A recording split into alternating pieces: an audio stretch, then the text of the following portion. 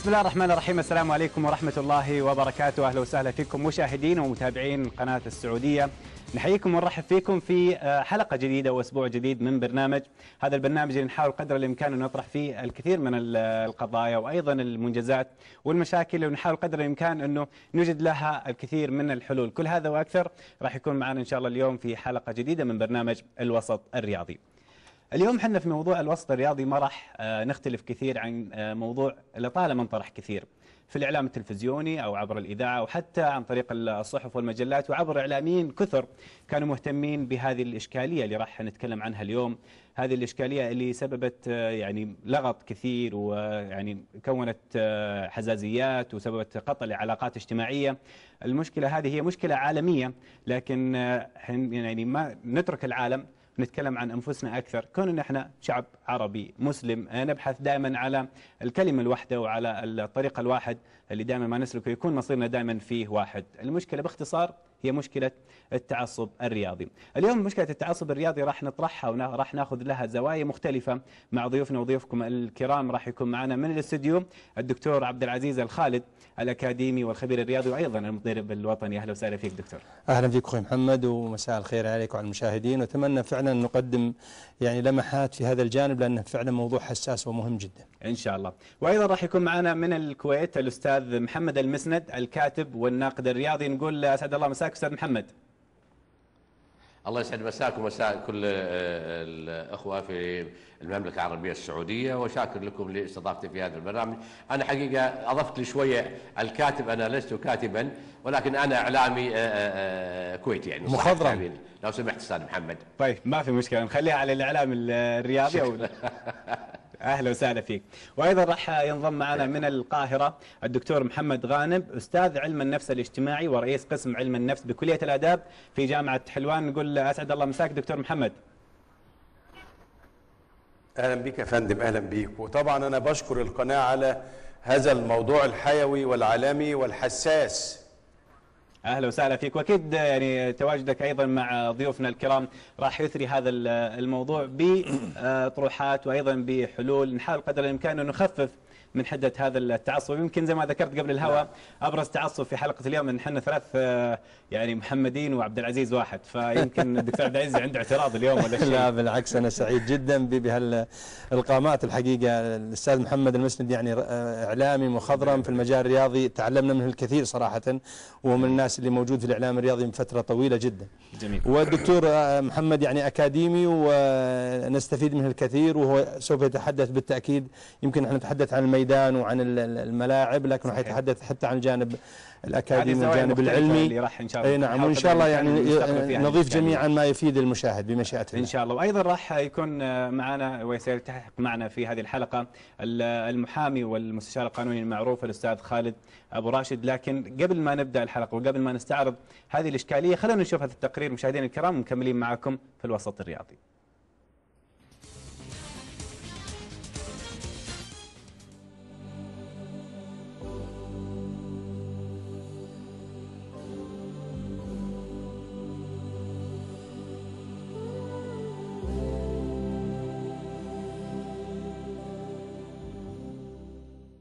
ظاهرة التعصب الرياضي. هي ظاهرة عرفت منذ اشتهرت كرة القدم وتعتبر طبيعية إذا كانت بين المشجعين ولكنها غير مقبولة للانتشار إعلاميا. فالإعلام يعتبر مسؤولا عن تخفيف الاحتقان الجماهيري والتصرفات الغير أخلاقية والتصريحات النارية التي يشملها العبارات غير اللائقة. هل بدأ الإعلام الرياضي السعودي والعربي يفقد بوصلته الأخلاقية؟ قبل أن نبحث عن الإجابة نؤكد أن هذا يحدث الآن والكل يراهن على الرياضة كقناة لإشاعة ثقافة السلام والإخاء بالاعتماد على الدور الهام الذي يمكن أن يطلع به الإعلام الرياضي في نشر هذه القيم والمثل السامية بكل ما يتطلبه من مهنية.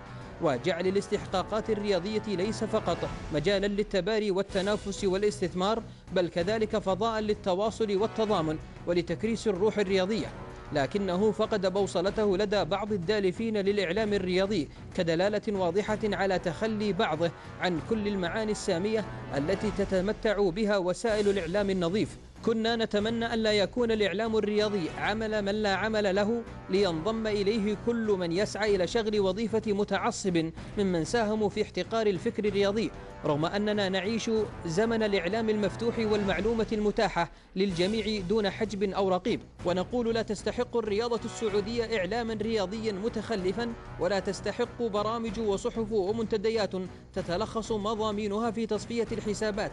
لم يكن الإعلام في يوم من الأيام من أهدافها أن تضرب إسفينا في جدار الوحدة الوطنية ولم يكن من ضمن آدابها خلق فرص للفتن وتصعيد للصراع الشخصي بين الأفراد وجعلها مادة للحديث في الدواوين والمنتديات وكأن الوسيلة الإعلامية أصبحت ساحة الوغى ضد الأعداء ومسرح الدجل والمدح والنفاق لأصحاب المصالح والأصدقاء.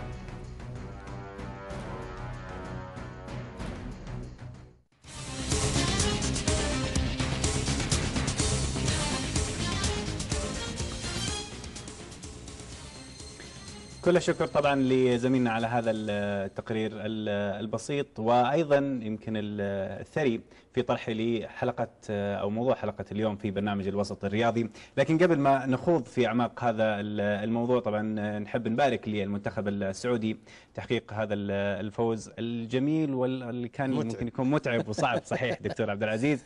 بفوزه على المنتخب الماليزي اثنين لواحد وشاهدنا يمكن آه، على حلقة اليوم بعض آه، من أشكال وأنواع وصور التعصب. الرياضي والذي حدثت من أحداث شغب في نهاية المباراة. آه، يمكن هذه اللي خليني أنطلق من خلال هذه الأحداث معك دكتور عبد العزيز من داخل المستطيل الأخضر. يمكن إحنا كنا دائما نقول إنه حد الكورة وحد التعصب الملعب. المفروض برا الملعب. خلاص نصير أصحاب وحبايب على قولتهم. آه أنت شايف إنه هل المشكلة بدأت من داخل الملعب ولا بدأت من خارج الملعب؟ هل هي من ثقافة اللاعبين؟ هل هي من آه، رؤساء مجالس إدارة الأندية؟ هل هي من عناصر أصبحت محسوبة على الأندية خارج المستطيل الأخضر؟ طبعا اولا يعني خلينا اولا نبارك للمنتخب لأنه كذلك مناسبة طيبه المنتخب لأن يتصدر مجموعته وكان فوز صعب جدا. وخلني أعلق جزئية التعصب اللي حصلت في الملعب. الماليزيين معروف بأدبهم وبأخلاقهم وبروحهم الرياضية و كانت مستغربة كثير. وبقربهم حتى من المملكة العربية السعودية. آه، كنا نتمنى أن يكون الاستضافة أكبر. لكن أنا أحمل جزء كبير من المشكلة للاتحاد الآسيوي اللي فعلا ضعيف في قراراته وضعيف في آه، ضبطه للأمور وللشغب وشاهدنا في الملاعب الإيرانية على وجه التحديد ماذا حصل الفرق والأندية السعودية ولم نجد الحقيقة القرارات الصارمة بل قرارات هشة وضعيفة جدا انعكست على طب حتى الملاعب الأخرى وهذه لا شك الأوروبي في قراراته الصارمة والقوية ما يزال هناك في نعم. شغل في الملاعب. تحصل لكن لكن شاهدنا يعني تكرر أنا أقصد. يعني خاصة في الملاعب الإيرانية سواء في سوء أرضية الملاعب أو تعصب الجماهير أو في اللافتات العنصرية اللي دائما تحصل في المدرجات. ومع ذلك لا تعالج بشكل مقنع جدري. أو جذري وخاصة الاتحاد الاتحاد الاسيوي ضعيف في هذا الجانب بالذات. صحيح. ويمكن يكون قوي شوي على الفرق السعودية والخليجية وهي, وهي علامة استفهام صراحة. أنا أقول التعصب بصراحة آه الجميع يتحمل بلا استثناء. منظومة العمل في المجال الرياضي سواء إداري الإداري بس في في بداية أنا عارف يعني رئيس النادي اللاعب المشجع الإعلامي وان كنت يعني معنا الان الأستاذ محمد وهو إعلامي كبير ممكن نعلق على جانب. أنا أشوف إن الإعلام بالذات في المملكة العربية السعودية له دور كبير جدا في قضية التعصب ورفع حدة التعصب إلى درجة كبيرة. الميول والحماس مع النادي مطلب والحماس وارتفاع مستوى الفني كذلك مهم. جميل. من أجل رفع المستوى لأنه لا يمكن يكون أداء فني عالي بدون أن يكون هناك منافسة شرسة ومنافسة قوية وتنافس قوي. صحيح. لكن يجب أن يضبط في مثل ما ذكرت في المستطيل الأخضر ويكون في تنافس شريف ويكون عندنا الفروسية وعندنا الاستعداد لتحمل خسارة والابتسام والتواضع عند عند الانتصار وتحقيق الفوز. والرياضة هي الجميع يعرف أنها فوز وخسارة لكنها ليست خسارة يعني مربكة أو خسارة يعني بل بالعكس من من يخسر اليوم سوف يكسب غدا. طبيعي. والتنافس الشريف يجب أن يكون هو العنوان دائما في هذه المحصلة وهي وللأسف يعني بكل أمانة الرياضة هي ميدان تربوي. إذا خرجنا عن عن أنها ميدان تربوي وأصبحت آثارها السلبية على النشء أكثر من آثارها الإيجابية فهناك مشكلة وعلامة استفهام كبيرة. طيب يعني هل تشوف مثلا آه، رفع أو يعني آه، البحث عن طرق في رفع ثقافة اللاعبين أساسا أنه نعرف كلنا البيئه الطبيعية اللي ممكن يجي منها اللاعب من دوري للحواري ومن صحيح. الحارات ومن الحاجات هذه حتى بعضهم يمكن ما أكمل الدراسة فجأة يصير في واحد من أشهر الأندية فجأة يصير صورة على كل صحيح، المجلات صحيح. والجرائد فجأة يصير على رصده بالملايين فهنا يصير في عملية نقلة حتى يعني محمد أضعف ضلع أو أقل ضلع تعصبا هم اللاعبين يعني اللاعبين بينهم ود وبينهم جلسات مع بعض يروحون مع بعض ويجون مع بعض ما في هذه المنتخب طيب في كثير من الصور وكثير من مقاطع الفيديو لكن ما تحظى بالانتشار اللي يكون اي يعني ما تعزز يعني. ما تع... جوانب ايجابيه في في لحمة اللاعبين وتقاربهم مع بعض سواء في المنتخب أو في الأندية تجد في أندية متنافسة تماما جداً. لكنهم ملتفين خارج الملعب بشكل ممتاز صحيح. الجمهور لا يعرف هذا لأن للأسف الإعلام يقدم بطريقة غير جيدة. وأنا أريد أن أعلق على الإعلام لكن خلى في مرحلة متقدمة من البرنامج لأنه فعلا هو الإعلام هو المشكلة. لأن الآن فيه إعلام يريد أن يبيع المتابعة والمشاهدة والحقوق يعني النشر من أجل يعني فيزيد حدة التعصب ويأتي ويحضر متعصبين حتى ينقلون للجماهير المتابعة ثم يصبح يعني النقاش بينهم في أعلى قمم التعصب جميل. وكل إعلامي للأسف الآن يقدم وهذه جزئية مهمة جدا يقدم على أنه منتمي للنادي صحيح. وهذا. خلل محسوبيات. محسوب هو يقدم على أنه بحكم أنك محسوب على البيت ال- ال- ما صارت الفلاني على أو النادي الفلاني ما صارت حتى على أشخاص صارت على صحف مت... يعني كاملة وهذا خلل لا شك وهذه الإعلامي يفترض محسوبة على- يكون إيه؟ الإعلامي محمد يجب أن يكون في موقع المحايد تماما جميل. لأن طيب. هو مثله مثل الحكم تماما. ممتاز. إحنا أخذنا منك جزئية المستطيل ال- الأخضر وقلت يمكن اللاعبين هم الضلع ال- الأضعف وبديت انت تتحمل أو الإعلام. الأفضل. أنا أقول الضلع الأفضل في عدم التعصب. جميل. والأضعف في عملية لكن الجزء التعصب الأكبر على وانتشاره. الإعلام. ممتاز. يمكن الإعلام أنت حملته ويمكن هذه راح ننتقل فيها للأستاذ محمد المسند من الكويت ال- الإعلام ال- الرياضي. آه، أستاذ محمد يمكن الدكتور عبد العزيز حملكم كثير من ال- المسؤولية بحسب بحسب المحسوبيات اللي تكون موجودة من ناحية اللاعب من ناحية عفوا الإعلاميين المحسوبين على الأندية وأصبحت حتى صحف ومجلات أصبحت محسوبة على النادي الفلاني من آه، يعني عناوين يعني نارية وعناوين يعني لها كثير من المفاهيم اللي الواحد يبدأ يفهمها بالجزئية المغلوطة والكاريكاتيرات أيضا اللي أخذت برضه متسع واسع في عملية نشر التعصب.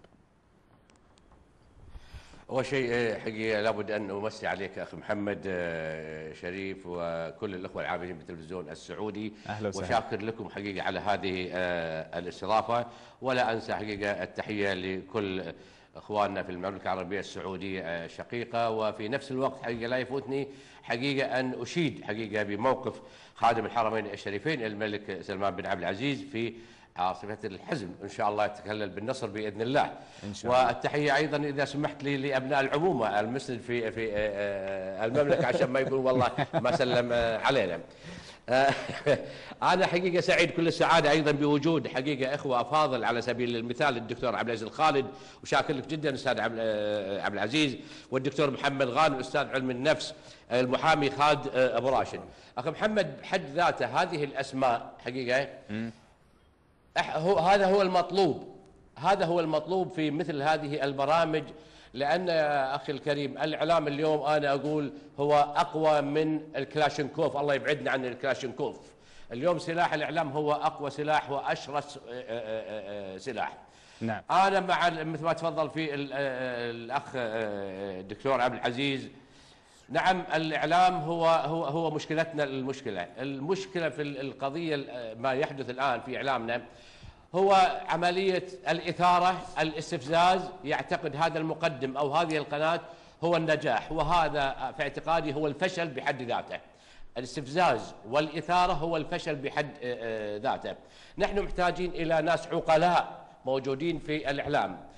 إحنا بصفة خاصة أتكلم عن خليجنا العربي وعالمنا العربي، ربما يقول هنا من يقول هناك يا أخي انظر إلى الصحافة في آه، إنجلترا في فرنسا في بالضبط. ألمانيا هؤلاء جانب أما نحن كأ- كأمة عربية جانب آخر.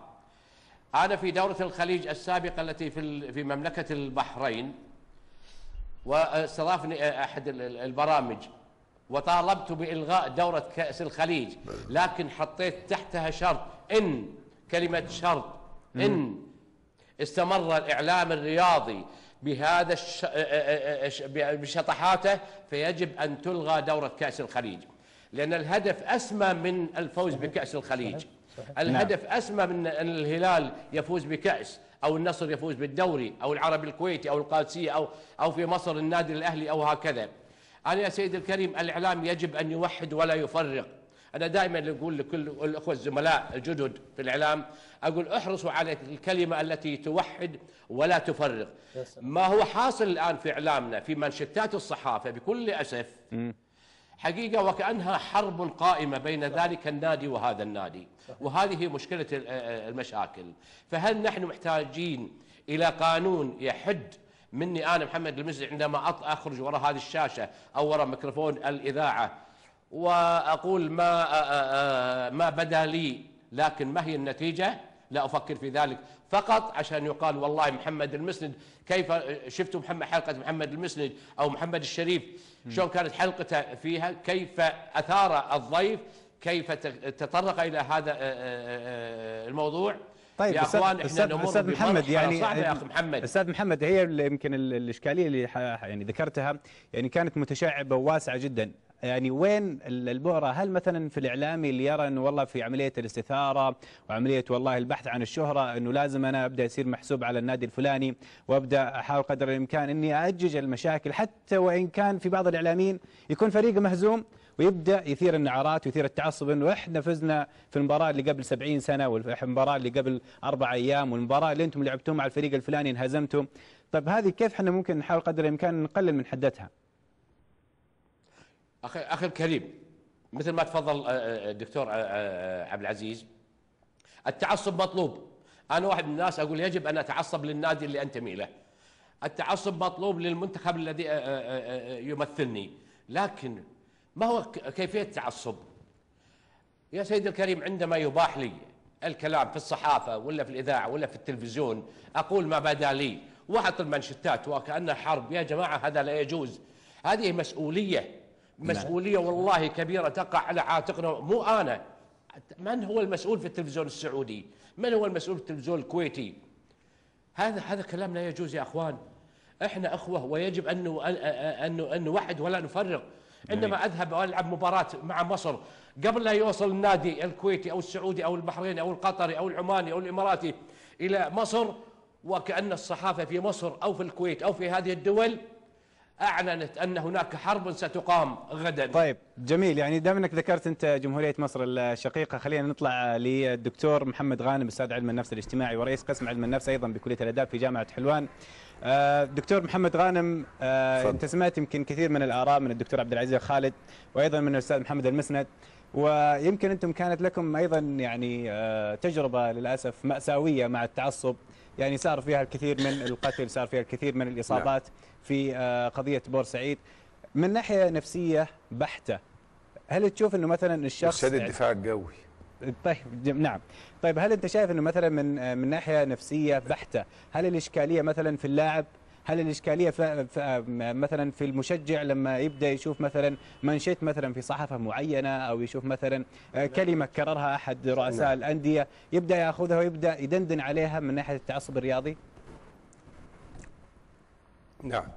طبعا بداية آه، مبروك للمنتخب السعودي والشاكر على الاستضافة وسط هذه الكوكبة المتميزة. آه، يعني أنا سعيد بالحوار معاهم. أهلا وسهلا. وسعيد جدا بموضوع ال- الحلقة وهو التعصب لأنه هو ظاهرة عالمية إلا أنه بيظهر ويختفي في بعض ال- المجتمعات.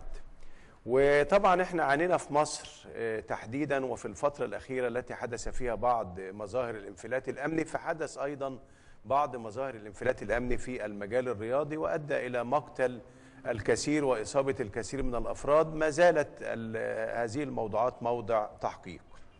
طبعا لا نستطيع أن نحمل طرف مسؤولية التعصب أو إثارة التعصب لدى الآخرين بقدر ما هو جملة من العوامل والأسباب. قد يكون اللاعب نعم. آه، وتعصبه للنادي الذي ينتمي إليه وتفاخره بذلك واستهتاره أو استهزاؤه بالطرف الآخر لأن التعصب هو عبارة عن حكم مسبق على الآخر إما بالكراهية دون سند منطقي أو بالحب دون سند منطقي. يعني مفيش منطق أبدا صحيح. في التعصب. ليه, بت... ليه بتحبني؟ مفيش منطق. ليه بتكرهني؟ مفيش منطق.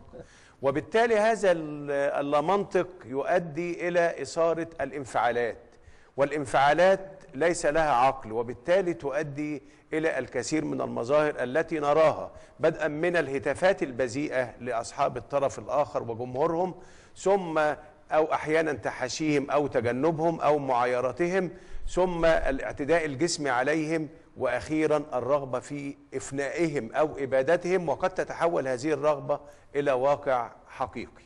نعم. وقد يكون المشجع والمشجعين في الفترة الأخيرة كما نعلم في مصر كمثال قد كونوا روابط. رابطة مشجعة الفريق كذا ورابطة مشجعي فريق صحيح. كذا وكل رابطة تحاول أن تتفاخر على الروابط الأخرى. ولا يقتصر الأمر على مجرد الهتافات أو الرقص في الملاعب كما نرى ونشاهد الآن وأنا, وأنا أتحدث وإنما قد يصل هذا الأمر إلى آه، العراق وإلى آه، حوادث دامية قد لا تحمد عقباها.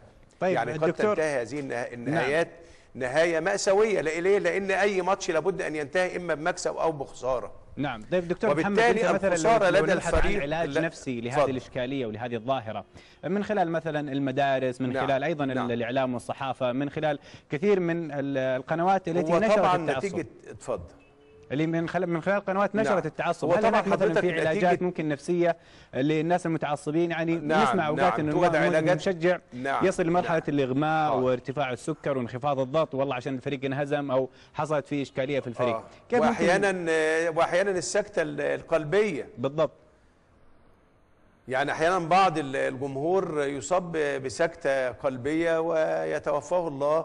نظرا لانفعاله لأن فريقه جاب جون ففرح أكتر من اللازم أو فريقه دخل فيه جون فحزن أكتر من اللازم فممكن يصاب بهذه الأشياء. طبعا بس أنا بداية أنا عايز أوضح نقطة إن الحمد لله مظاهر التعصب في عالمنا العربي ما زالت يعني إلى حد ما في حدودها المعقولة مقارنة بمظاهر التعصب في المجتمعات الغربية. الحمد لله. بس يا دكتور أنت تتكلم عن ال- مجتمعات المجتمع غربية بس هنا نتكلم عن مجتمع عربي مسلم نبحث دائما عن ال- الخط الواحد والمصير الواحد. نعم، يعني نعم، لها نعم. لها يعني آه، فروق نعم. آه، واضحة طبعا جدا. طبعا طبعا. وبالتالي في آه، برامج آه، للوقاية من التعصب في البداية.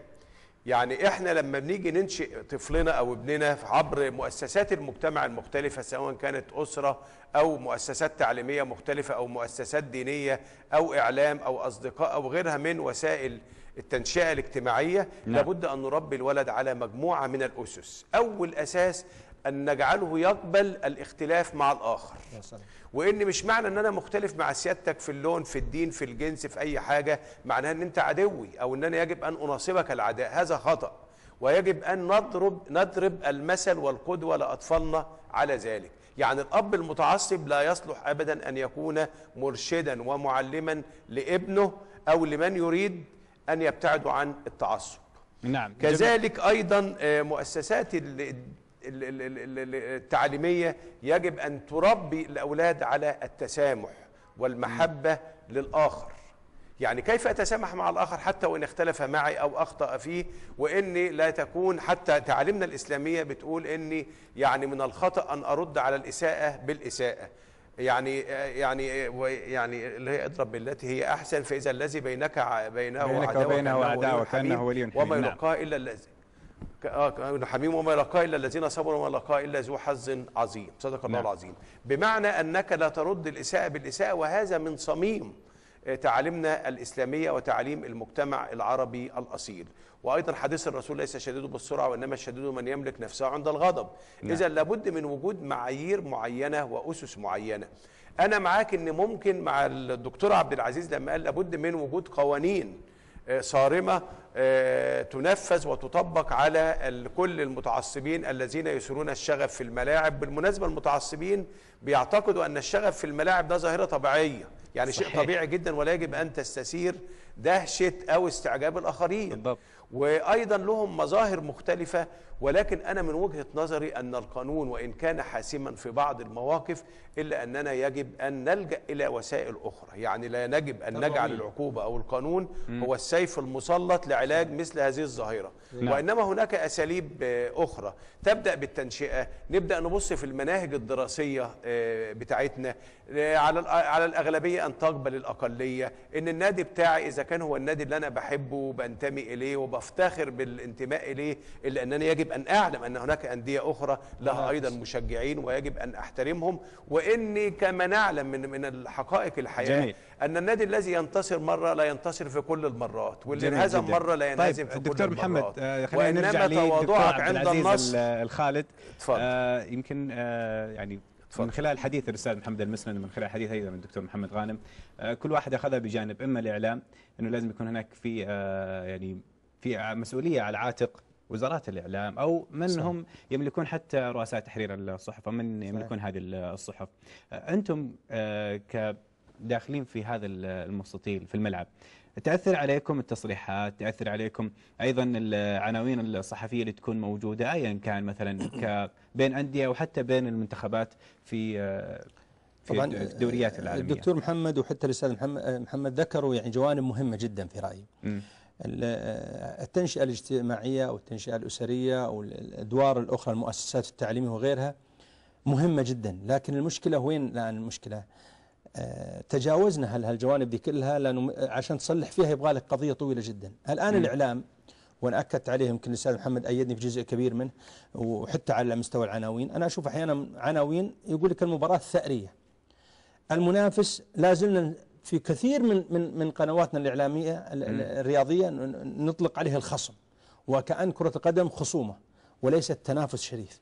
لا زلنا لا زلنا رغم أنها كلمات مهمة جدا ومعبرة جميل. عندما أقول أنا ألعب آه، خصمي اليوم مو مو بخصم هو ليس خصم. أقول أنا منافس.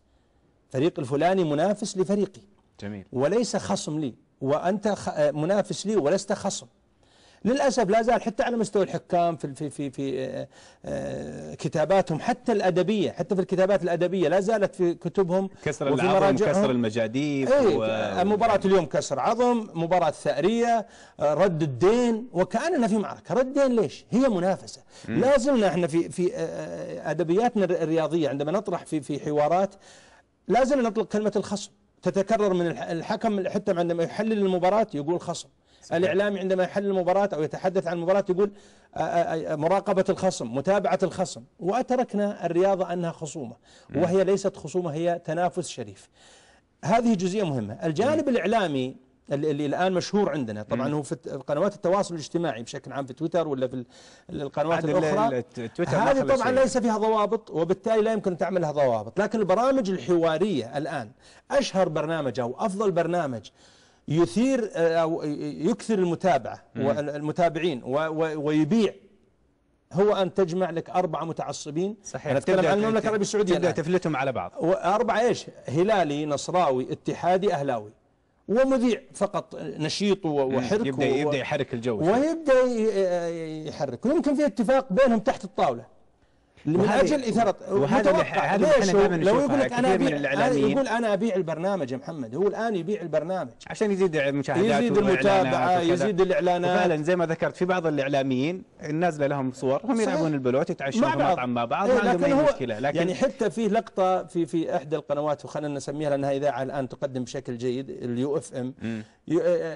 في صوت لامرأة كبيرة في السن تشتكي تقول أنتم يا أهل القنوات تجتمعون في الاستراحات وتتفقون على إثارة الشباب الصغار، أنا عندي أبنائي شوي يتخانقون، واحد يشجع نادي واحد يشجع نادي، وأنتم تضحكون ورا الطاولة ورا ال- يعني ورا ورا الكواليس يعني. ورا الكواليس تضحكون، أنا أقول يجب أن نضبط. يجب يعني لما يكون رجل عمره 60 سنة ولا أكثر فقط أنت تجي تبيع عشان أنت تتواجد في القناة.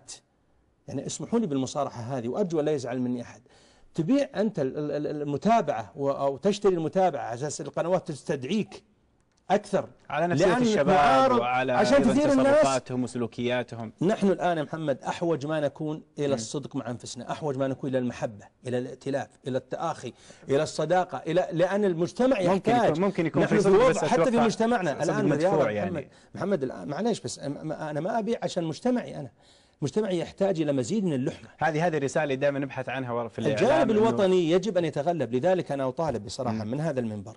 أطالب الجهات المسؤولة في الدولة أن تتدخل في قضية الإعلام وضبط من يقدم التعصب جميل إحنا راح نرجع ونشوف يعني ال- الدائرة هذه دائرة أي. العلاج مع مين آه، كيف يصير فيها التعاون والتكاتف من كثير من القطاعات صحيح. الحكومية والخاصة أيضا صحيح. لعلاج هذه الإشكالية لكن نرجع أيضا للدكتور محمد غانم أستاذ علم النفس الاجتماعي من من مصر ويمكن الدكتور عبد العزيز يعني ذكر نقطة مهمة إنه اختيار المصطلحات في آه، الأخبار وفي الصحافة وفي الإعلام بشكل عام وحتى في الرسم الكاريكاتوري أنه فعلا كل مصطلح له معاني لكن إحنا دائما نحاول قدر الإمكان نبعد عن هذا المعنى اللي هو الخصم وإنه والله في كسر عظم وكسر مجاديف وإنه فيها نعم. مباراة ثارية وهذه المباراة الثوريه مو والاسطوريه واللي- أو موت. وحياة أو موت وال- ممكن يوصل الدم للركب.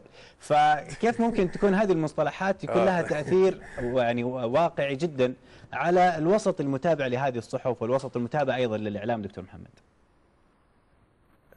هو للأسف الشديد طبعا هنلاقي إن كل نادي كمثال في مصر له جريدة خاصة بيه. صحيح. وهتلاقي في صحفيين متعصبين لهذا النادي. وزي ما قال فعلا آه، سعادة الدكتور عبد العزيز بيختاروا مصطلحات تدل على العنف والانتقام والسخرية من الآخر بل والرغبة في فنائه تماما. ولذلك مثلا يقول لك بالطول بالعرض مثلا الشعار ال- الشهير بالطول بالعرض هنجيب كذا اللي هو الفريق الآخر أو العدو الأرض. أي أنهم ليس لهم إيه؟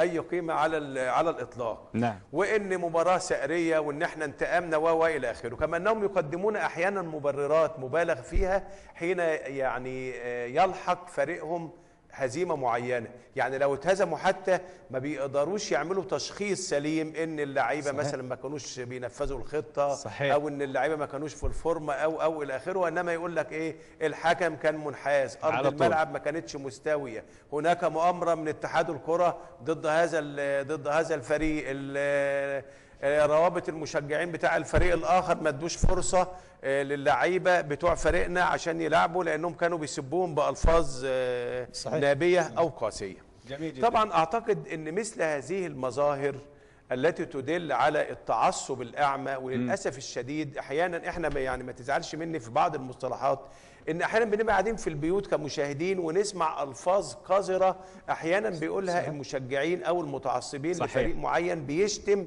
أعضاء أو لعيبة الألفاظ هذه حتى وصلت للصحافة ومن رؤساء ال- الأندية أكيد طبعا. كل شكر لك الدكتور محمد غانم. الشديد. و- كان و- كان تواجدك معنا يعني أثر تصل الموضوع البيوت. للأمانة ويعطيك ألف عافية. يعني نحاول قدر الإمكان إنه آه، يكون لنا آه، أيضا مشاركات معك إن شاء الله مستقبلية في مواضيع أخرى. أيضا نحاول قدر الإمكان تخدم المجال الرياضي ونقلل من حدة التعصب الرياضي. اللي للاسف أتوقع إلى الآن ما وجدنا منه ولا حتى فائده واحدة. يعني حتى يعني يقول لك تعصب.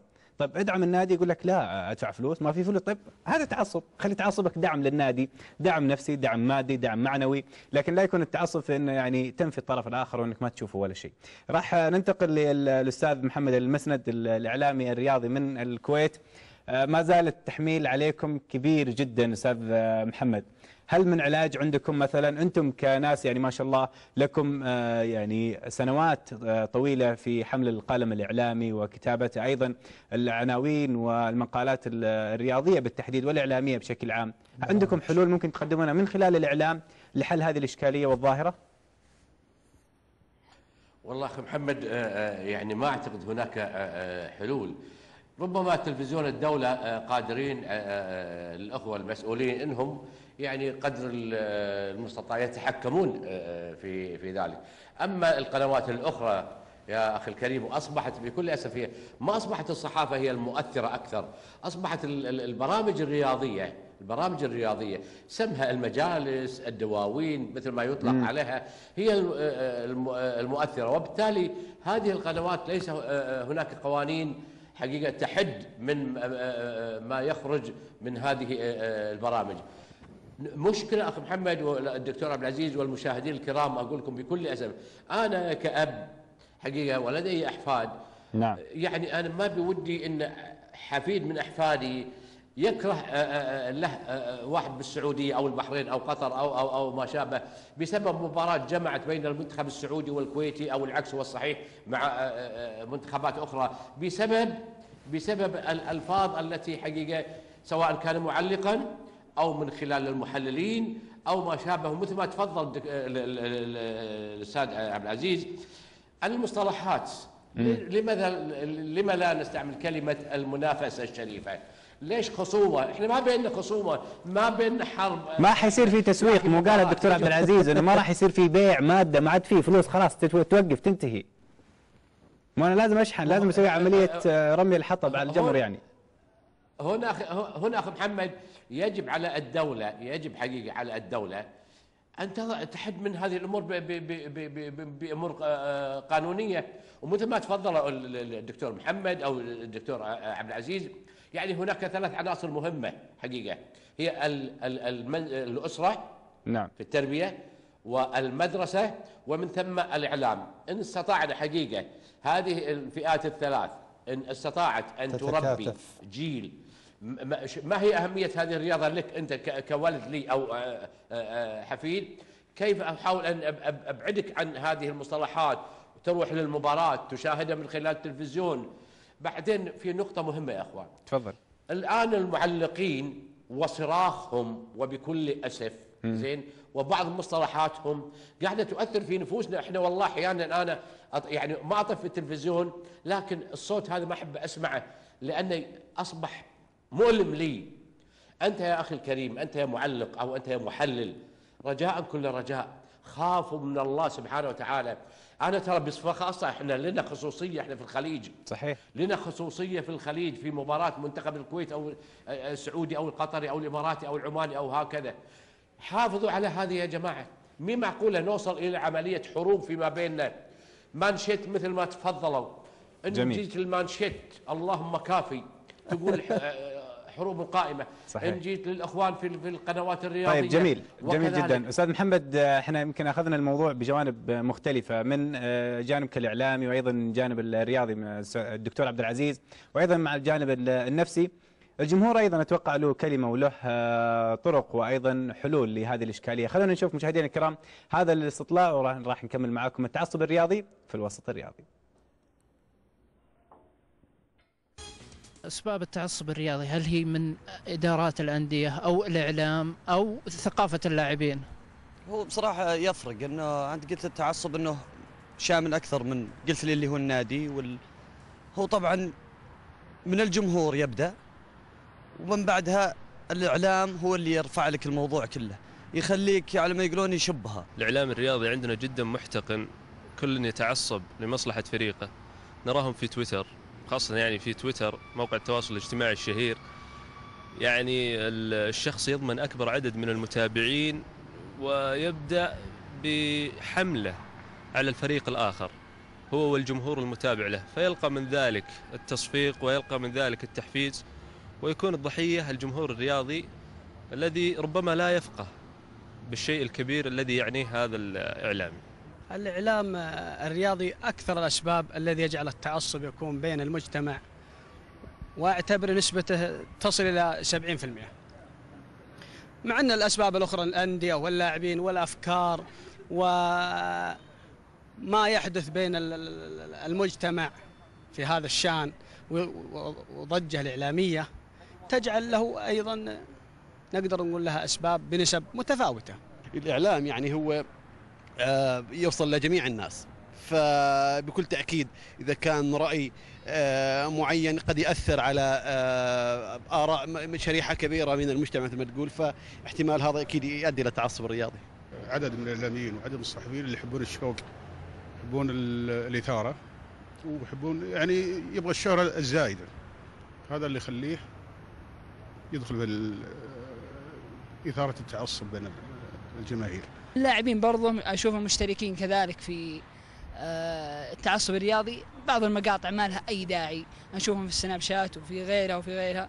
يعني ما لها أي داعي. قبل المباراة يعني يشحن نفسه ويشحن الجمهور إلى درجة إن الجمهور يستثير ويطلع وتصير بين إيش الجمهور. في الأخير اللي ماكلها جمهور الأندية بشكل عام. لأن الإعلام عندنا دائما هو خلينا نقول له ال- ال- النسبة الأكبر في ال- ال- الرياضة عندنا. يجي بعده مثلا برضو ثقافة اللاعبين. لاعب عن لاعب يختلف. لما يكون يخرج عن مثلا ضغوطات الجماهير وهذه هذه برضو منها أنا من وجهة نظري أشوف أن وزارة الإعلام عليها الدور الكبير في فرض رقابات على الإعلاميين سواء فيما يكتبون في الصحف المحلية أو ما يكتبون في مواقع التواصل الاجتماعي.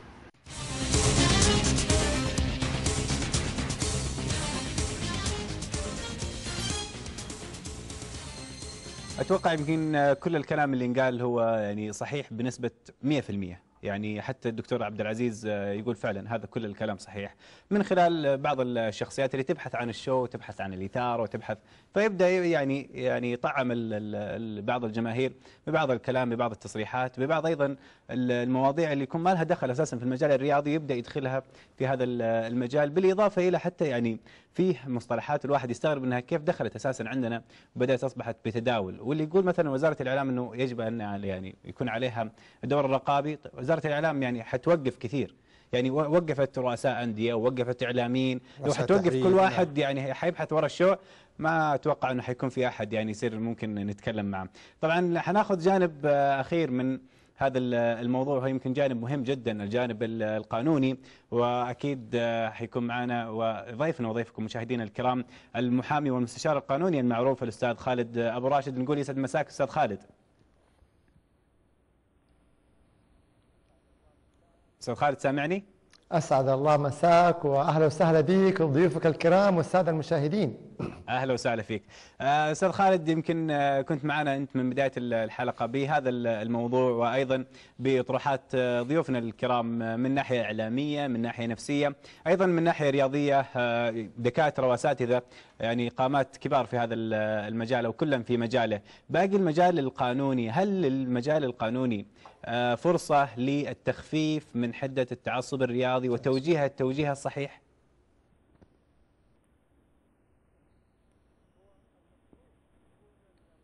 هو المفروض يكون المجال القانوني هو المجال فعلا الأخير آه، للحد من هذا ال- التعصب. آه، بمعنى إحنا في الوسط الرياضي في عندنا لجنة الانضباط.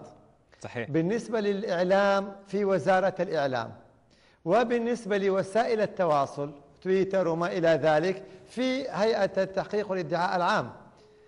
لو كل جهة من هذه الجهات الثلاثة قامت بالدور المطلوب كان حيكون هنالك حد كبير جدا من هذا التعصب. بمعنى لو أن لجنة الانضباط أصدرت عقوبات على كل من يقوم بتصريح مسيء لو أن وزارة الإعلام حاسبت كل من يقوم بالإساءة عبر وسائل الإعلام من منسوبيها وهم منسوبي الصحف أيضا آه، لو كان هنالك تفعيل حقيقي لهيئة التحقيق والادعاء العام بمحاسبة في تويتر يعني قدر الإمكان الإعلاميين أو الرياضيين أو المسؤولين اللي يستخدموا تويتر أو وسائل التواصل نعم. حيكون هنالك حد كبير جدا ولكن لما يكون هذا الأداء ضعيف آه، حنشاهد ما بنشاهده الآن من آه، من تعصب من توتر خاصة إنه إحنا سنة عن سنة هذه المسألة بتزيد ما بتنقص. جميل. طيب أستاذ خالد آه، أيضا نتكلم إذا كنا بنبحث عن كل واحد راح يكتب في تويتر ونعرف إحنا أيضا الفترة الزمنية اللي راح تأخذها القضية خصوصا على مواقع التواصل الاجتماعي راح آه، تطول. كيف ممكن أنا آه، كجم ممكن كفرد عادي هل بإمكاني مثلا أرفع قضية تعصب؟ هل في مفهوم قانوني عندنا في المملكة العربية السعودية بهذا المعنى أو بهذا المصطلح؟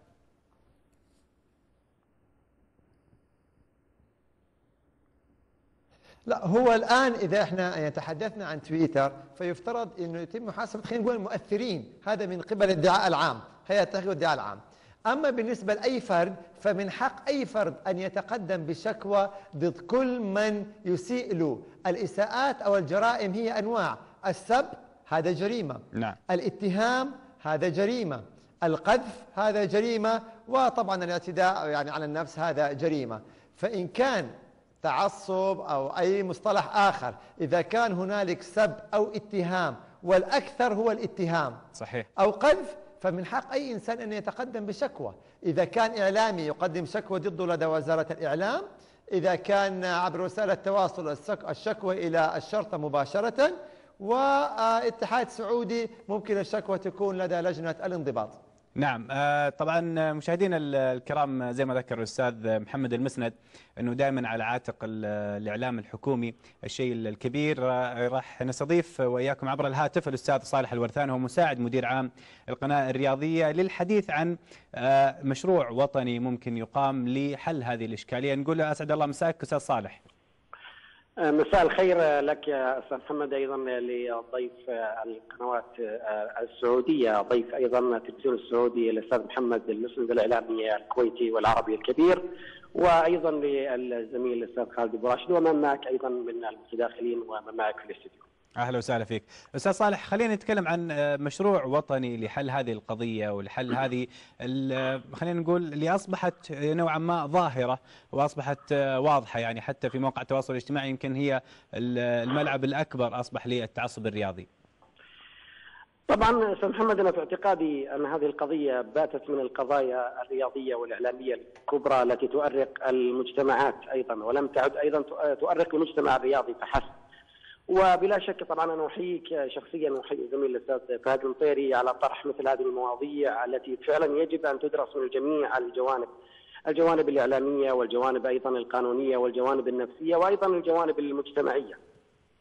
وأعتقد أستاذ محمد أننا الآن على مفترق طرق، إما أن ننتشل الوسط الرياضي والرياضة السعودية وحتى ربما الخليجية والعربية نعم. من داء التعصب القاتل والمميت أو فعلا يعني نقف نتفرج على مثل هذه الأمور، ولكن دعني أنا طبعا أتحدث أيضا من منطلق القانوني الذي تحدث منه الزميل خالد إبو راشد، أنا في اعتقادي أن سن قوانين رادعة هي بلا شك ستكون مانع وأيضا تضع حد يعني لهذه لهذه الظاهرة القاتلة. التي للاسف أنها أيضا وصلت إلى الإعلام وأصبح الإعلام له دور كبير جدا في تأجيج مثل هذه القضايا ومثل هذه الأطروحات العقيمة وصلت إلى موضوع ال social media وال new media فأصبح يعني التعصب ظاهرة مميتة أثرت على مستويات يعني الفرق العربية المنتخبات السعودية وأثرت حتى على مستوى الحميمية في التنافس الرياضي الشريف. صحيح. طيب هل ما زال حديثنا هل هناك من مشروع وطني كون انه أنتم إعلام رياضي حكومي عليه العاتق يعني الشيء الكبير وأيضا محملين بأمانة عظيمة من خلال حل مثل هذه الإشكاليات؟ لأنه يعني القنوات أتوقع الخاصة والقنوات الأخرى دائما ما تبحث عن الشو ما يهمها هذا الشيء. أهم شيء زي ما ذكر الدكتور عبد العزيز أنه يكون في عدد متابعين عشان يصير في بيع للإعلانات عشان يصير في شهرة لهذه القناة وأيضا شهرة لهذا البرنامج. أنتم كجهة حكومية هل هناك من مشروع يتم فيه إشراك العديد من القطاعات الحكومية والخاصة لسن مثل هذه القوانين وأيضا لنشر وتفعيل؟ هي الثقافة موجودة لكن نحتاج إلى تفعيل وآلية تفعيل لهذه لحل هذه الظاهرة. نعم أنا في اعتقادي طبعا يعني معالي وزير الإعلام يعني الدكتور عادل الطيفي وأيضا المسؤولين في الهيئة على رأسهم الدكتور عبد الملك الشذوب نعم. وجميع أيضا المسؤولين في القنوات الرياضية سعد الدكتور محمد زريان أعتقد أن الجميع يتفق على وقت مثل هذه الظاهرة من خلال الرسالة الإعلامية التي تقدمها جميع وسائل الإعلام وتحديدا القنوات الرياضية السعودية التي تسعى فعلا إلى يعني تخفيف هذه الظاهرة من خلال برامجها التثقيفية ومن خلال مشاريعها الكبيرة. انت أستاذ محمد طرحت موضوع المشروع، أنا في اعتقادي أن المشروع لا يجب أن يكون برنامجا أو برنامجين أو حلقة أو تقارير أو حتى يعني مت... نعم. أنا في اعتقادي يفترض نعم بالضبط أستاذ محمد. هو اكبر من كذا يفترض أن يكون يعني مشروعا يعني وطنيا ممتدا. يعني يعيدنا فعلا إلى إلى أعوام الثمانينات حيث كانت الرياضه السعودية صراحة معطاءه وكانت تقدم العديد من الإنجازات وكان صراحة الجميع صراحة يعني في حتى في تنافس حميمي شريف ولم تصل الأمور كما تفضل ضيوفك الكرام إلى ما وصلت إليه من يعني تعصب. أنا في اعتقادي أنه ربما ينعكس أيضا على مستوى يعني الجماهير وربما جميل. يحدث في الملاعب ما لا ما لا يحدث عقبة. أنا في اعتقادي طبعا القنوات الرياضية هي قائمة فعلا في هذا المشروع ومستمره فيه من خلال هذه التوجيهات. والله باذن الله يعني نتقاطع من خلال أنتم أيضا أستاذ محمد في مشروع كبير. لكن بإذن الله تعالى ممكن من خلال أيضا لقاء يعني الأكاديميين المثقفين أيضا مركز الملك عبد العزيز للحوار الوطني ممكن أيضا يتشكل مشروع كبير جدا يستهدف فعلا يعني الثقافة الخاصة بهذا نعم الأمر. نعم. شكرا لك الاستاذ صالح الورثان مساعد مدير عام القناة الرياضية يعطيك ألف عافية. ونرجع للاستاذ محمد المسند. يمكن حضرتك سمعت كلام الاستاذ صالح يمكن هذا الشيء اللي أنت كنت تبحث عنه من ناحية الإعلام الحكومي وأيضا من خلال إطلاق مشاريع حكومية تهدف إلى الحد من هذه الظاهرة التعصب الرياضي بشكل كبير. خلينا نسمع منك رأيك في هذا المشروع لو فعلا فعل وأقيم بالإضافة إلى كلمة توجهها من إعلامي إلى إعلامي آخر.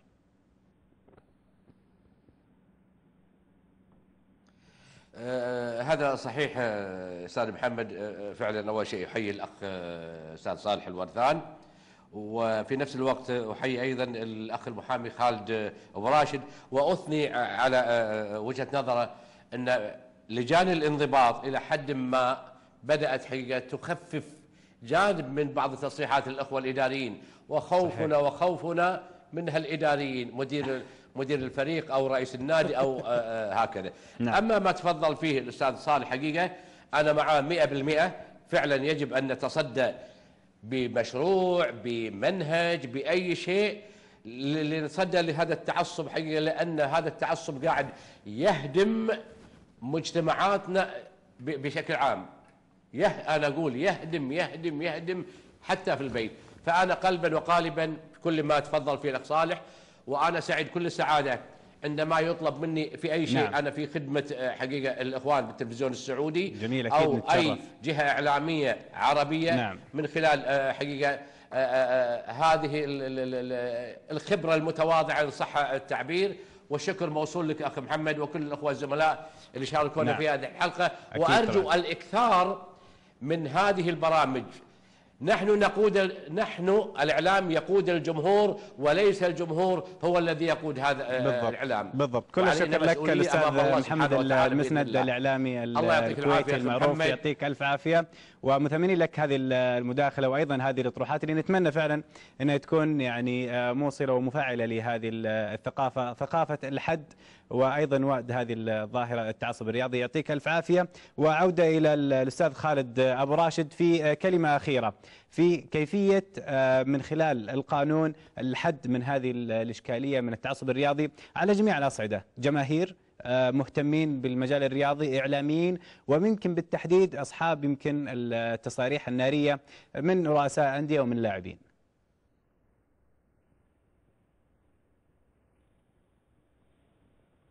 هو يعني بتكافل الجميع كل في اختصاصه. يعني أنا أتحدث من الناحية القانونية البحتة لجنة الانضباط تقوم بدورها على كل مسؤول رياضي يصرح تصريح مسيء. وزارة الإعلام تقوم بدورها على كل كاتب أو مسؤول تحرير. ينتج عنه مقالة أو عنوان مسيء هنا حنحد بالنسبة للإعلام لجنة الانضباط حتحد بالنسبة للوسط الرياضي نعم. وفيما يتعلق بوسائل التواصل لو تم معاقبة اثنين أو ثلاثة فقط من يعني ال- اللي لهم حسابات كبيرة أو من المؤثرين يعني صحيح. في إساءاتهم حيكونوا آه، رادع لغيرهم. جميل. هذه ثلاث الجهات لو قامت بدورها حيكون في حد كبير جدا بالإضافة زي البرنامج النير هذا وبرامج أخرى تكون يعني بتوضح يعني توعية. للمجتمع الرياضي. إننا نعم. نرجع زي ما كنا زمان. ما هو زي الآن؟ ملاحظة. أخيرة حتى كثير من ال- الزملاء أصبحوا بيبتعدوا عن العمل في الوسط الرياضي بسبب التعصب الموجود. صحيح. كل شكر لك الأستاذ خالد أبو راشد المحامي والمستشار القانوني المعروف وأيضا شكر لاثرائك معنا في هذه الحلقة من الجانب القانوني. كلمة أخيرة الدكتور عبد العزيز. إحنا سمعنا آراء مختلفة من هو يمكن السؤال هل يجوز أن نقدم الحكم بأنه محسوب على النادي الفلاني؟ والله هذا اللي إحنا شغالين عليه ترى عندنا. السؤال يعني هل يجوز أن نقدم الحكم أو أقدم رئيس الاتحاد أنه محسوب على النادي الفلاني؟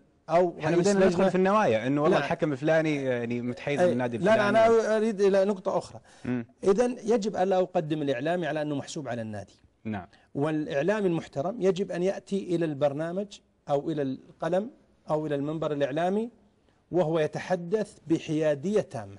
جميل. ولا يقدم على أنه منسوب للنادي. المنسوب للنادي يكون رئيس مدير المركز الإعلامي أو مدير الفريق أو أحد يصرح باسم النادي مسموح. لكن عندما تأتي إلى طاولة النقاش أو الحوار أو التحليل أو ال- النقد فيجب أن تقدم نفسك على أنك إعلامي محايد. تشجع نادي روح في بيتكم وشجع على راحتك ما حد يقول لك لا.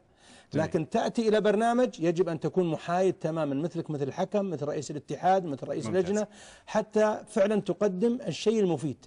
جميل. التشجيع غير والحضور لإبداء الرأي غير آخر. جميل جدا. آخر. كل الشكر لك الدكتور عبد العزيز الخالد الكادي الأكاديمي. والخبير ال- الرياضي أيضا والمدرب الوطني. وأيضا كل الشكر للضيوف اللي كانوا معنا في حلقة اليوم. الدكتور محمد غانم أستاذ علم النفس الاجتماعي ورئيس قسم علم النفس بكلية الاداب في جامعة حلوان. ومن الكويت كان معنا الأستاذ محمد المسند الإعلامي الكويتي وأيضا المحامي والمستشار القانوني الأستاذ خالد أبو راشد. أيضا كل الشكر للفنيين في برنامج الوسط الرياضي وأيضا للمعد الأستاذ فهد المطيري والمخرج عبد الله السعيدي. إذا كانت الرياضة هي تسبب المشاكل واللخبطة. وإذا كانت هذه بالتحديد هي فعلا تفرقنا ما تجمعنا بلاش منها. خلونا نعيش في سلام وباقيين نعيش في في أمان. يعني انتهت وخلصت وهذه كل حاجة أتوقع إنه ممكن الواحد يسويها. ليست فقط كرة قدم فقط. هي خلاص انتهت. إذا هذه فعلا فعلا تفرقنا ما تجمعنا فهي انتهت بهذه ال- الحلقة. ونتمنى لكم إن شاء الله آه، ليلة سعيدة. ونقول لكم إن شاء الله بلاش تعصب. شجع ناديك وأنا أشجع نادية. وأهم شيء نبقى حبايب.